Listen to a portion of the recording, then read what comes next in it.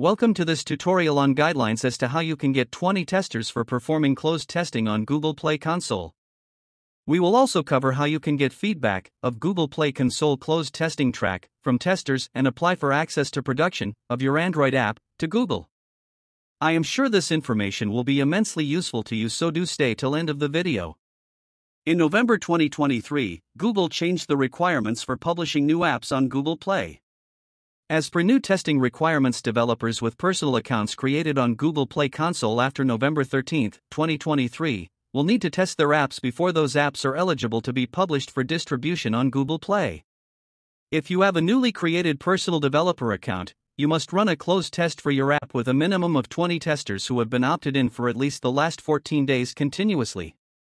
When you meet these criteria, you can apply for production access on the dashboard in Play Console so that you can ultimately distribute your app on Google Play. When you apply, you must answer some questions to help understand your app, its testing process, and its production readiness. So, to get 20 testers, the most common way is to use personal and professional networks. You can reach out to your friends, family, colleagues, or classmates, for example, and ask them to be beta testers for your app. You can reach out to communities where users are likely to exist and actively recruit them to test your app. For example, if you're building an app for CrossFit enthusiasts, then consider approaching a local club or connecting with your target users in online groups. You can also post about your app on social media and ask your followers to sign up for testing. If possible, you should recruit a diverse group of testers to identify bugs and usability issues that may be specific to certain types of users or devices. For the same reason, you should also recruit testers who you believe to be representative of your app's future users. For example, if you're developing a productivity app for businesses, you should recruit testers who are business professionals from different industries in which you believe your app may be popular. The closer your test users are to your target users, the more useful feedback you'll receive. Friends, once you have recruited a group of beta testers, it's important to provide them with clear instructions on how to test your app and report bugs. Let your testers know what type of feedback you are looking for. Try to encourage testers to use as many of your app's features as possible in order to receive holistic feedback. Include a feedback channel or let your users know how they can provide you with feedback, for example, by email, website, or message forum. Your testers can also provide you with private feedback through Google Play. Emphasize to your testers that they need to remain opted into your closed test for at least 14 days continuously.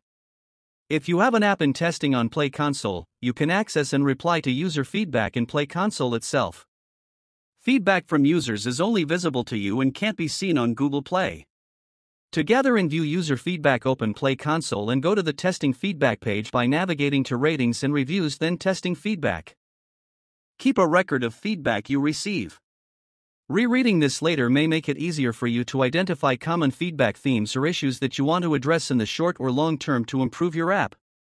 Google will also ask you to summarize your testing feedback for them later when you apply for production access. Once you've met the closed testing requirements, you can apply for production access. To begin, go to the dashboard. Click Apply for Production. You must then answer certain questions about your closed test, your app, and its production readiness.